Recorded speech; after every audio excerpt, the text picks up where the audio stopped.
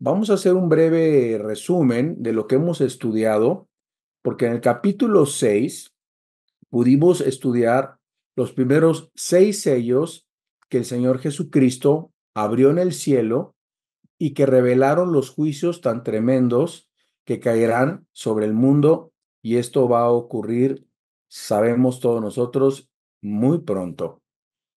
Este tiempo será un tiempo de puros desastres, cosas que ni siquiera nosotros podemos imaginarnos. Esta mañana estaba escuchando a Joaquín López Dóriga, que es un periodista mexicano en Radio Fórmula, y pronto se va a estrenar una serie de 10 eh, episodios eh, por Prime Time acerca del terremoto que hubo en el 86 en México.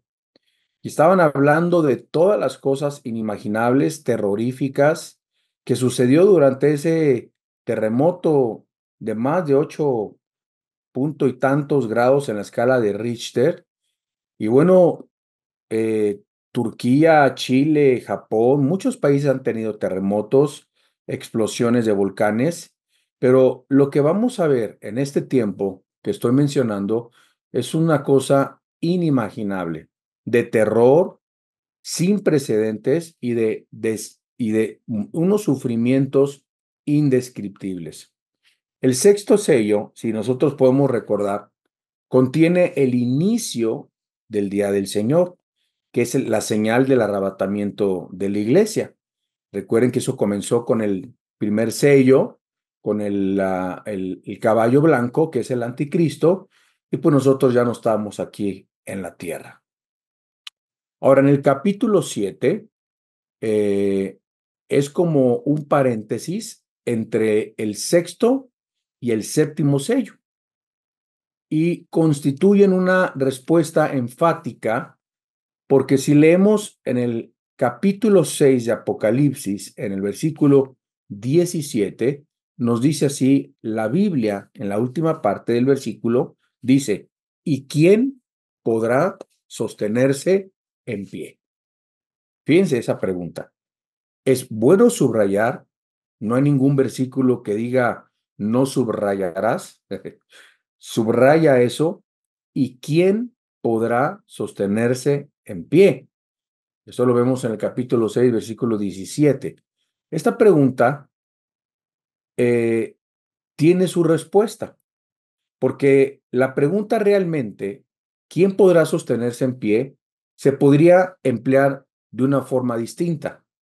La pregunta en realidad significa, ¿podrá alguien, fíjense la primera pregunta, ¿podrá alguien ser salvo cuando Dios derrame su ira sobre los habitantes de la tierra? Qué buena pregunta, ¿verdad? ¿Va, va a haber gente salva cuando Dios derrame su ira sobre los habitantes de la tierra? Segunda pregunta, ¿será alguien salvo después del rapto? Y bueno, solamente la Biblia nos puede contestar.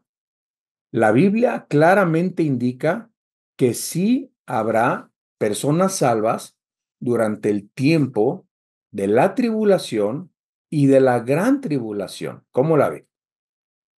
Ahora, como lo vamos a ver en este capítulo, pero una vez, eh, eh, como, lo, como, lo, como lo veremos en este capítulo, perdón, eh, pero una vez que inicia el derramamiento de la ira de Dios, va a ser demasiado tarde para muchos.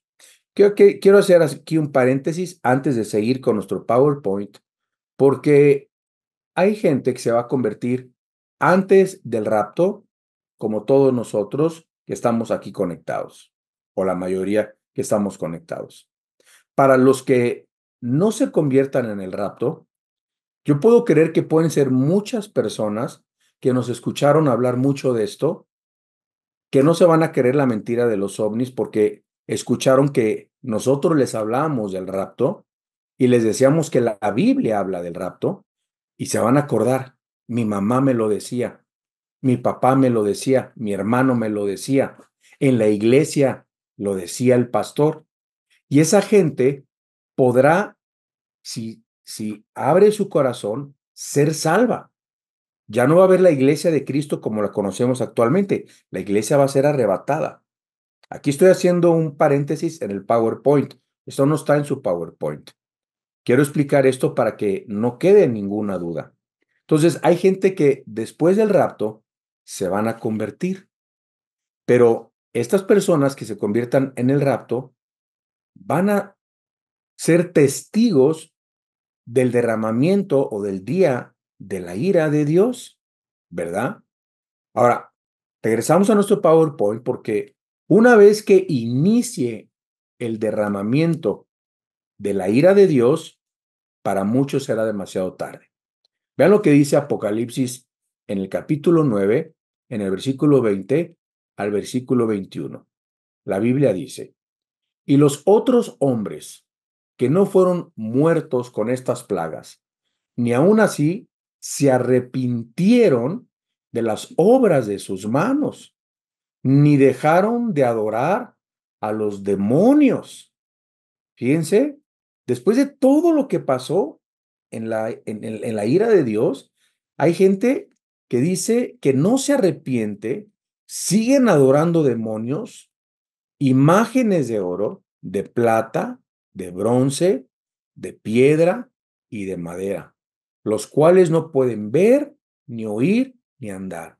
En otras palabras, muchos estarán en el día de la ira de Dios, viendo todas estas plagas, todavía encomendándose a sus sanjuritas Tadeo, a, su santo niño de, Atocha, a, a su Virgen de Guadalupe, a sus imágenes. Versículo 21 dice, y no se arrepintieron los homicidas, ni los hechiceros, ni los fornicarios, ni de sus gustos. Ahora, la Biblia nos dice que nosotros no vamos a sufrir la ira, hermanos. Solo los creyentes serán salvados y protegidos de la ira de Dios por el mismo Dios. Abramos nuestra Biblia, dejemos nuestro dedo ahí en Apocalipsis, en el capítulo 6, y pongamos, eh, eh, busquemos eh, el capítulo 5, versículo 9 de Romanos, veamos cómo vamos a ser guardados nosotros de esta ira. Dice, primera de Tesalonicenses, bueno, abramos primera de Tesalonicenses, Romanos 5, 9, primera de Tesalonicenses el capítulo 5, versículo 9. Vamos a leer tres versículos. Romanos 5, 9. Dice, pues mucho más estando ya justificados en su sangre, por él seremos salvos de la, ¿de la qué? ¿Quiénes van a ser salvos de la ira? Los que han sido justificados por la sangre de Cristo. ¿Cuántos alaban al Señor por eso? Gloria a Dios, ¿verdad? Primera de Tesalonicenses 1.10. Hay otra promesa para los hijos de Dios. Dice así, la Biblia dice, y esperar de los cielos a su Hijo, al cual resucitó de los muertos, a Jesús, quien nos libra de la qué?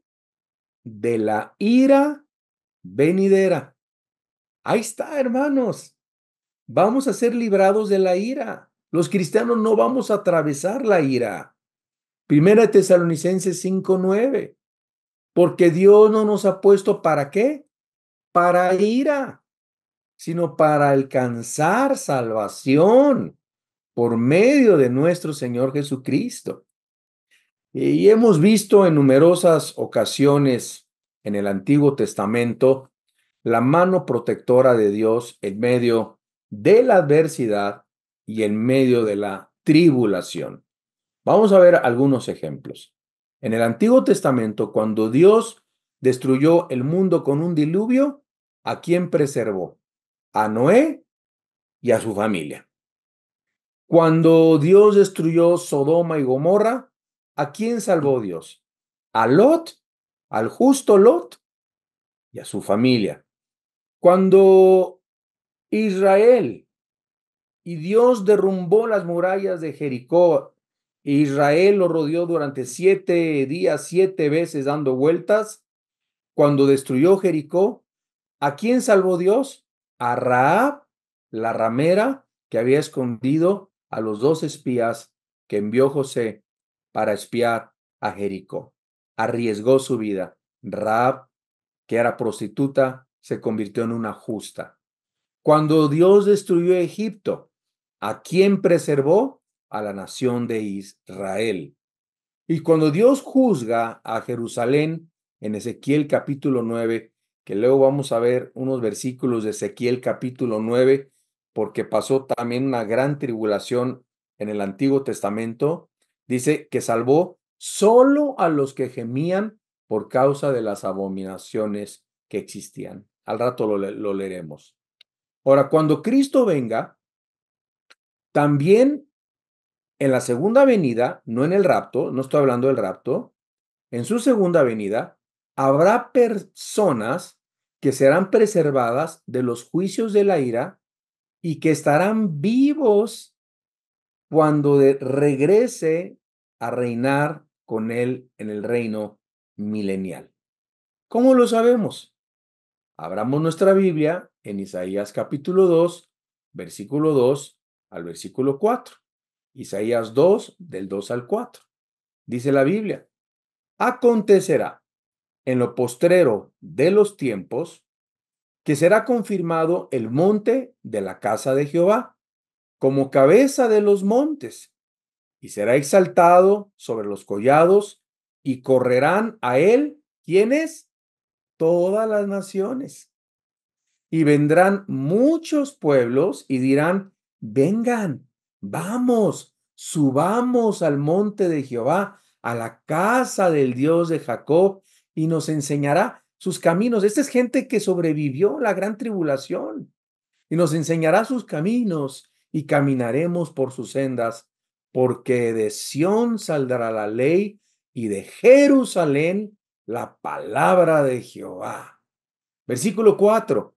Y juzgará entre las naciones y reprenderá a muchos pueblos y volverán sus espaldas en rejas de arado y sus lanzas en hoces. No alzará espada nación contra nación, ni se adiestrarán más para la guerra durante los mil años. Todo esto va a pasar. Qué interesante, qué precioso. Ahora, después de que demostremos en este capítulo que sí habrá gente que se va a salvar durante los años de la tribulación y de la gran tribulación, tanto judíos como gentiles, los juicios se vuelven a reanudar en el capítulo 8, en el versículo 1. Capítulo 8, versículo 1. ¿Qué dice el capítulo 8, versículo 1? Vamos a leer, es el siguiente capítulo, estamos en Apocalipsis 7, del 1 eh, al 8, 9, vamos a estudiar el día de hoy. Apocalipsis 8, 1 dice, cuando abrió el séptimo sello. Entonces, del, del, del sexto sello al capítulo 8, versículo 1, hay como un paréntesis. Cuando se abrió el séptimo sello, dice, se hizo silencio en el cielo como por media hora. En el capítulo 8, el séptimo sello, anote esto, es importante, o ya lo tienen ahí, tómenle un screenshot, una foto. El séptimo sello contiene las siete trompetas y la última trompeta contiene las siete copas, que son la segunda serie de los juicios divinos en contra de la humanidad. Bien, ok. Hemos resumido. Vamos a, ver esto, vamos a, ver los convertidos en la tribulación, en la gran tribulación. Vamos al versículo 1, eh, Apocalipsis capítulo 7, versículo 1. No se muevan de ahí, dejen su, un, una, algo que divida, que, que marque, que se quede ahí en Apocalipsis 7, eh, porque vamos a ver otros versículos y vamos a hacer un exégesis, ¿sí? De estos versículos. Apocalipsis 7.1 y vamos a ver número 1. Los ángeles, ángeles restringiendo la ira. Dice así Apocalipsis 7.1. Después de esto, ¿después de qué? De todo lo que vio Juan. Dice, después de esto vi, dice Juan, a cuatro ángeles en pie sobre los cuatro ángulos de la tierra.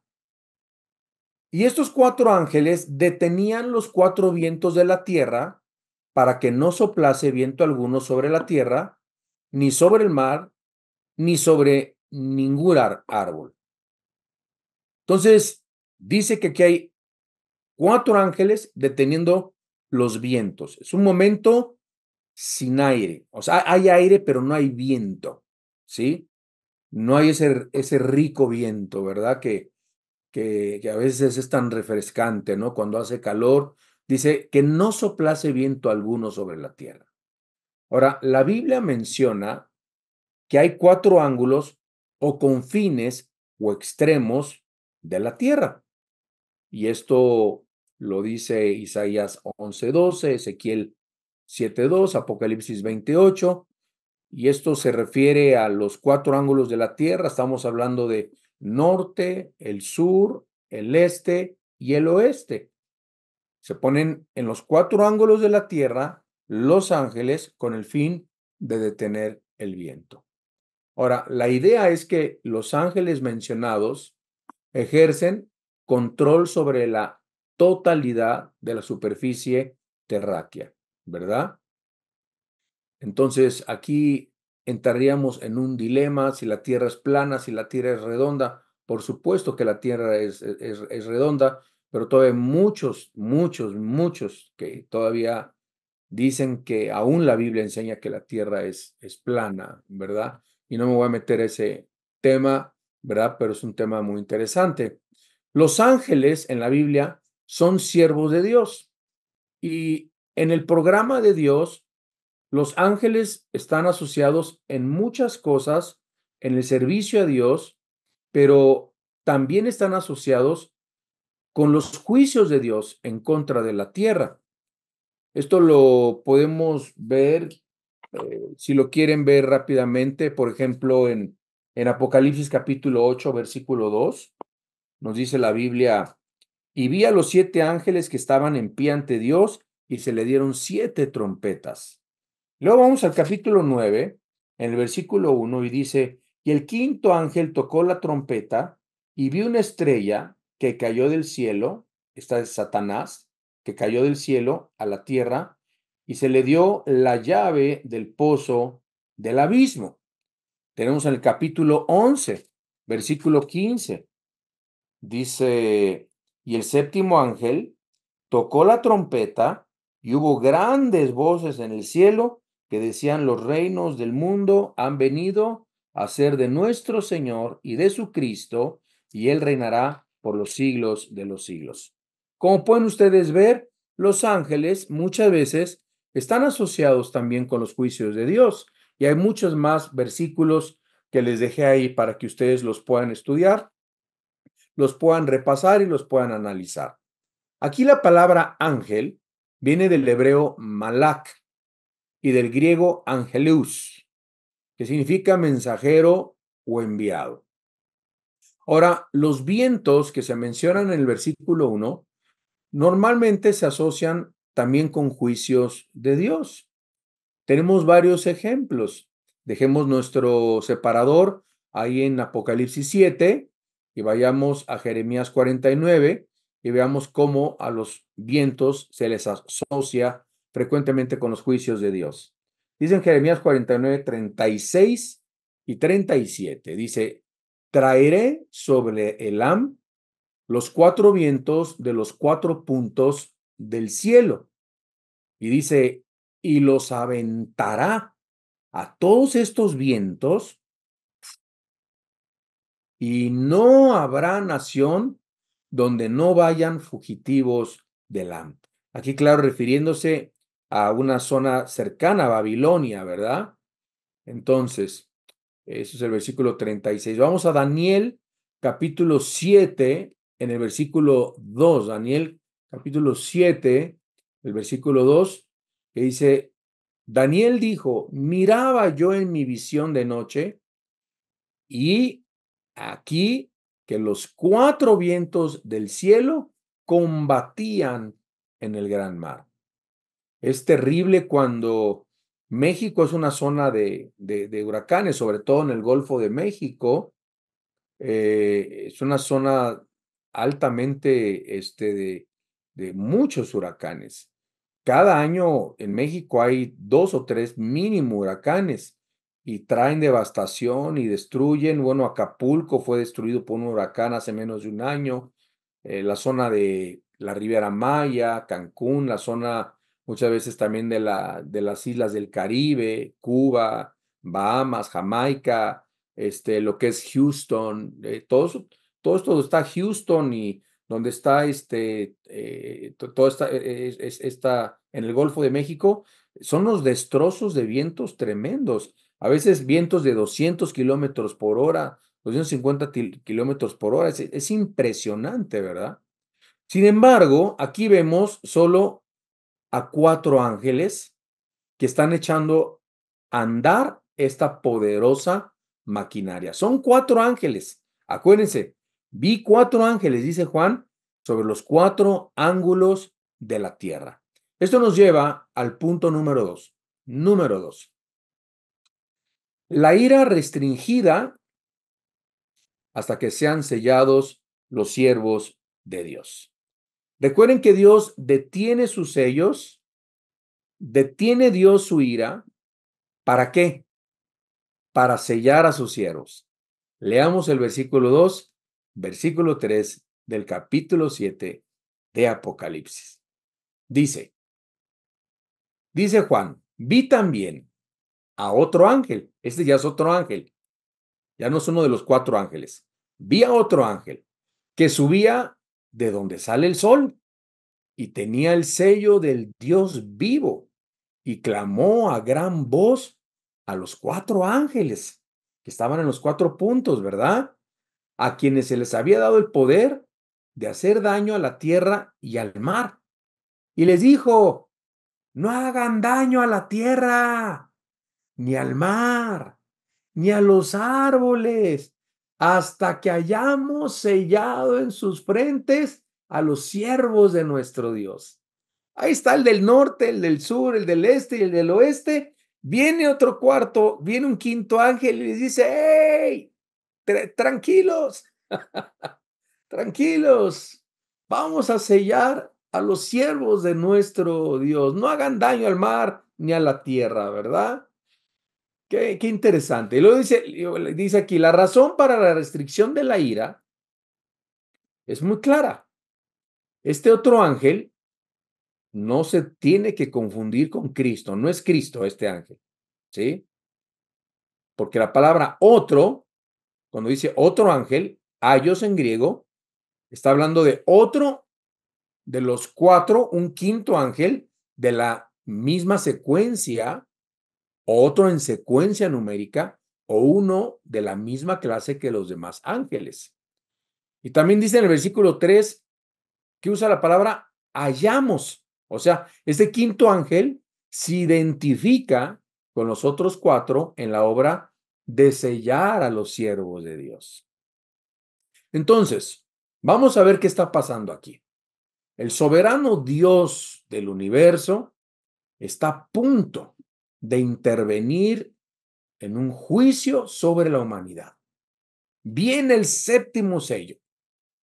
Ah, cada vez se está poniendo más terrible el libro Apocalipsis. Cada vez que lo leemos, más juicios y más juicios y más juicios. Pero Dios antes de hacer eso, pone un sello de protección sobre un número, que lo vamos a leer más adelante, específico, que son de la propiedad de Dios, se identifican como propiedad de Dios que Dios usa para evangelizar y predicar el Evangelio, el mensaje de Jesucristo. Miren, yo encontré un ejemplo en el Antiguo Testamento idéntico, casi idéntico, al que menciona Apocalipsis capítulo 7.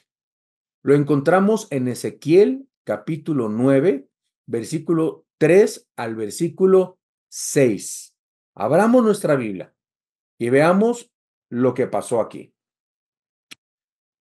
Ezequiel 9, del 3 al 6. ¿Están listos? Bueno, aquí quiero explicar que si leemos desde el versículo 2, no lo vamos a leer el 2, se habla de seis hombres. Son seis ángeles, hermanos. Son seis ángeles. Leamos el versículo 3.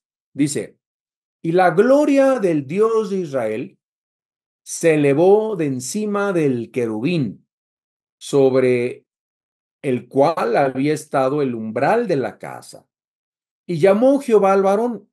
Este varón era un ángel. Acuérdense que los ángeles pueden tomar forma de seres humanos. Este ángel, vestido de lino, que tenía en su cintura el tintero de escribano. Y le dijo Jehová, pasa por el medio de la ciudad de Jerusalén, por medio de Jerusalén, y ponles una señal en la frente. Eh, y a los hombres que gimen y que claman a causa de las abominaciones que se hacen en medio de ella. Y, los, y a los otros dijo, oyéndolo, oyéndolo yo, pasad por la ciudad en pos de él y matad. No perdone vuestro ojo ni tengáis misericordia. Matad a viejos, jóvenes, vírgenes, niños, mujeres, hasta que no quede ninguno. Pero a todo aquel sobre el cual hubiere señal, no os acercaréis y comenzaréis por mi santuario, por mi templo, por el lugar de donde estaba Dios, ¿verdad? Comenzó por la casa de Dios el juicio. Eh, ¿Le relaciona hay algún versículo? Hay un versículo que dice que el juicio comienza por la casa de Dios. Comenzaron pues desde los varones ancianos que estaban delante del templo, los que más religiosos aparentemente estaban. Entonces, Dios manda su juicio contra Jerusalén, manda seis ángeles y dice a los que estén gimiendo por causa del pecado, a estos me los sellas. Regresamos nosotros a Apocalipsis.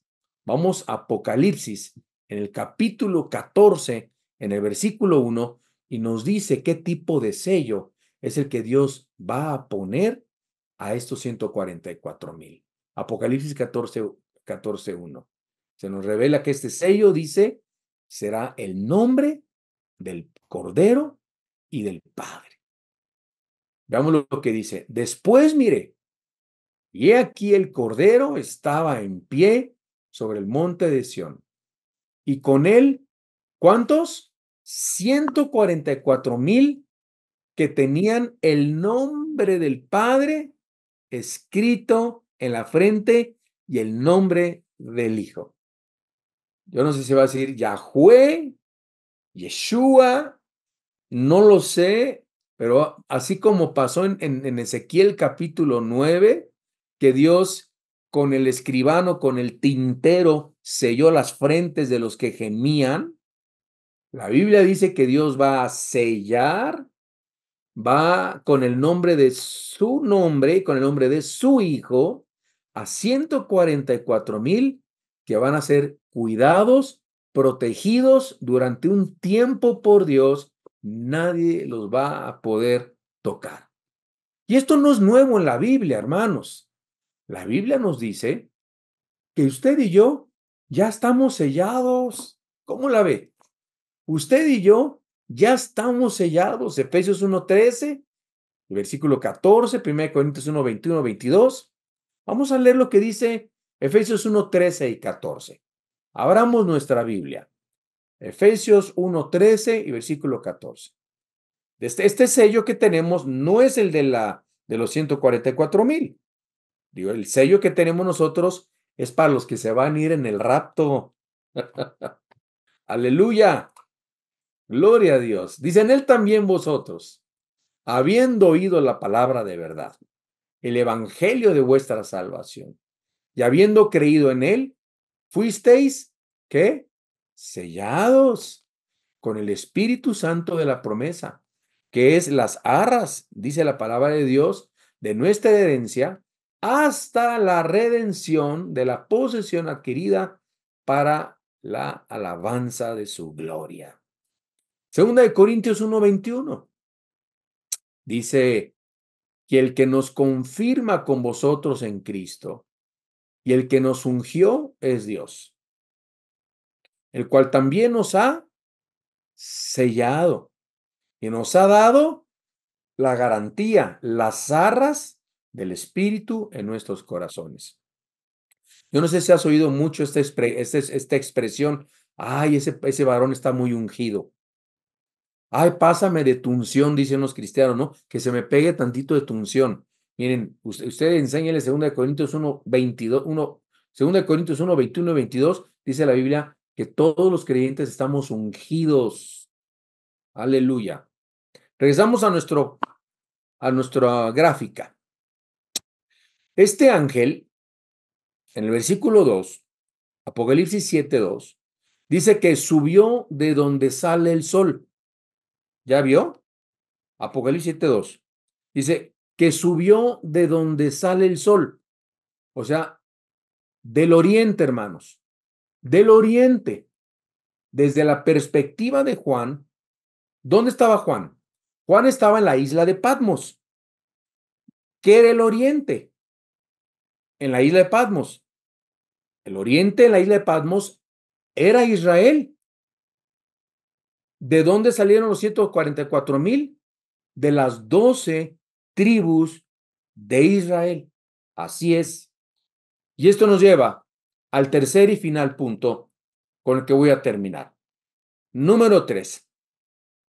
Veamos quiénes son estos 144 mil judíos sellados. Leamos el versículo 4 al versículo 8.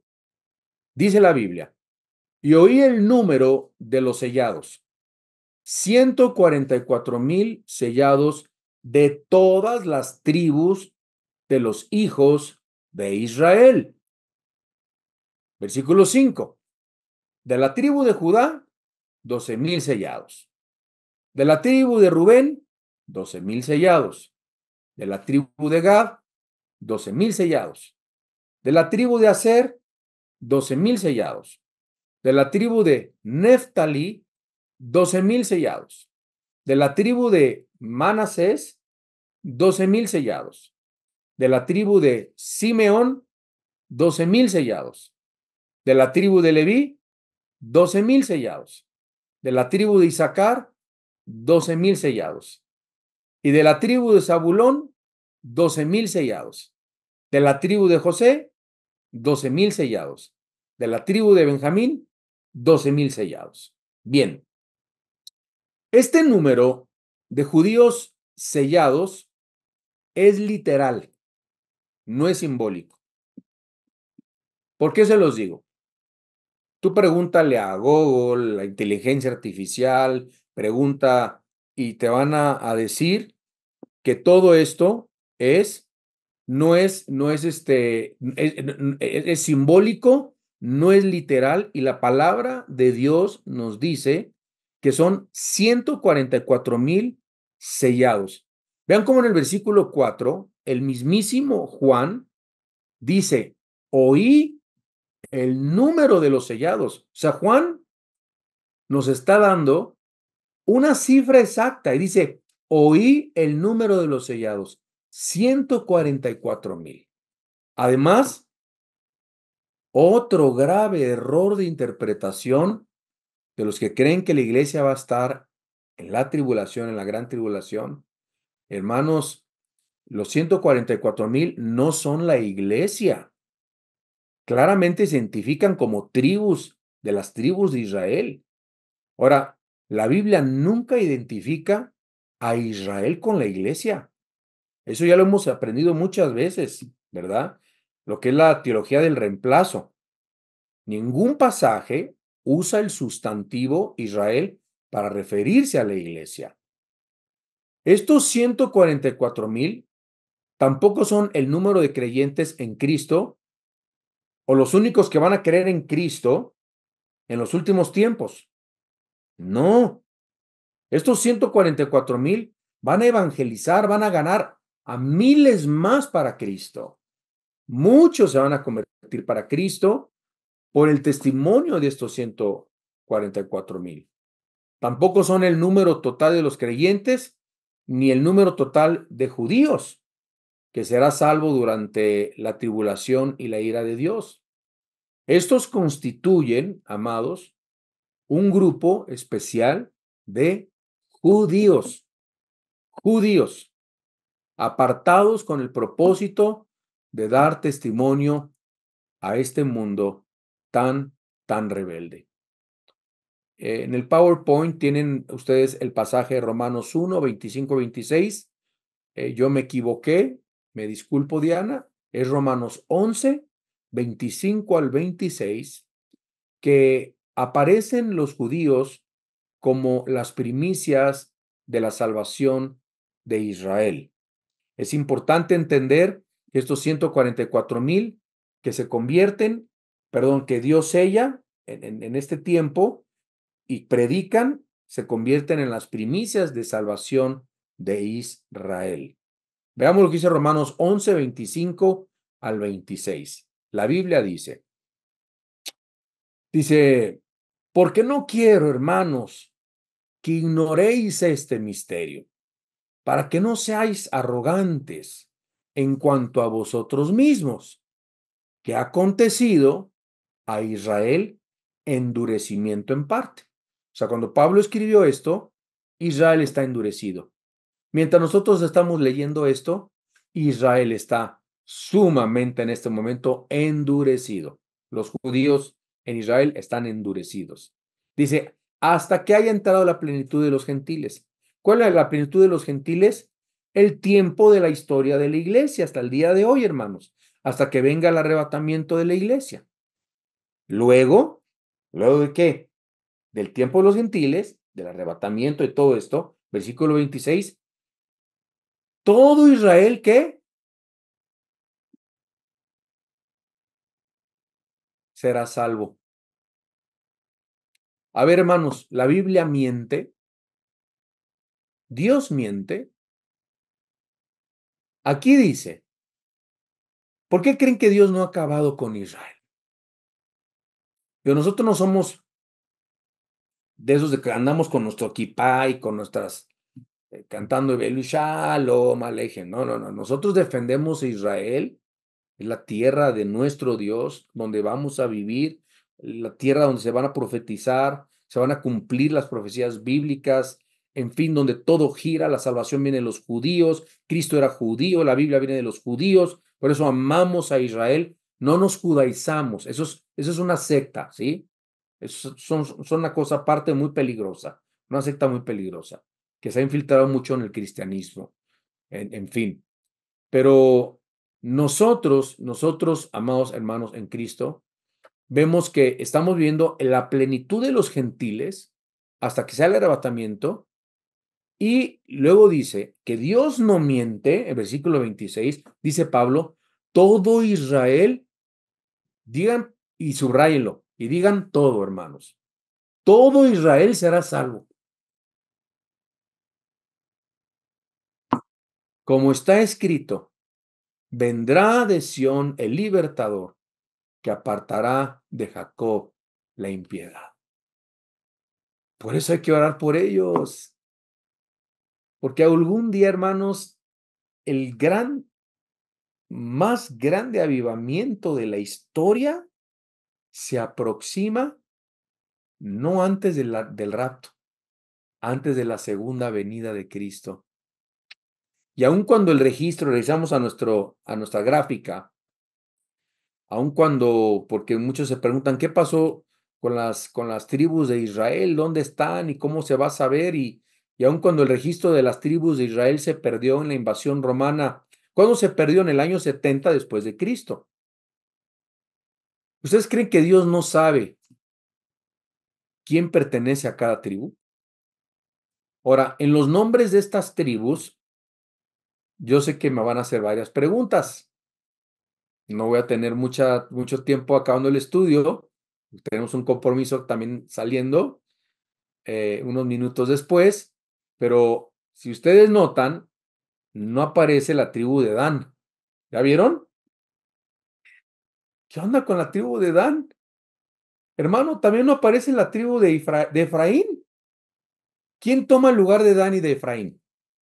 A ver, si son observadores, ¿quién, toma ese lugar? La tribu de Leví y la de José. Y aunque Rubén fue el primogénito de los hijos de Jacob, Jacob que luego se convirtió en Israel, Judá aparece en primer lugar. ¿Por qué? Por causa de que el Señor Jesucristo desciende de la tribu de Judá. Aleluya. Génesis 49, 10. Apocalipsis 5, 5. Rubén perdió su primogenitura. ¿Por qué? Como un castigo por su inmoralidad sexual con la concubina de su padre. Primera Crónica 5.1. Ahora, no se menciona Adán. En lugar de Adán fue puesto Leví. ¿A qué se debe esto? Se debe que esta tribu se entregó a la idolatría en Deuteronomio 29, 18 al 21. Y fue de las peores naciones de las tribus de Israel. ¿Sí? Jueces 18, Amós 8, Primera de Reyes, etc. Efraín, Efraín es omitido también y en su lugar está Manasés. En su lugar Manasés, por causa de que desertó del gobierno de la casa de Judá. Y al igual que Dan, Dan se entregó a la idolatría. Ahí están todas las eh, referencias bíblicas para que ustedes las puedan ver ahí en su pantalla y ustedes puedan estudiarlo. Ahora, Manasés y Efraín, que eran hijos de José, fueron los hijos adoptados por Jacob antes de morir y ambos recibieron heredad junto con los demás patriarcas.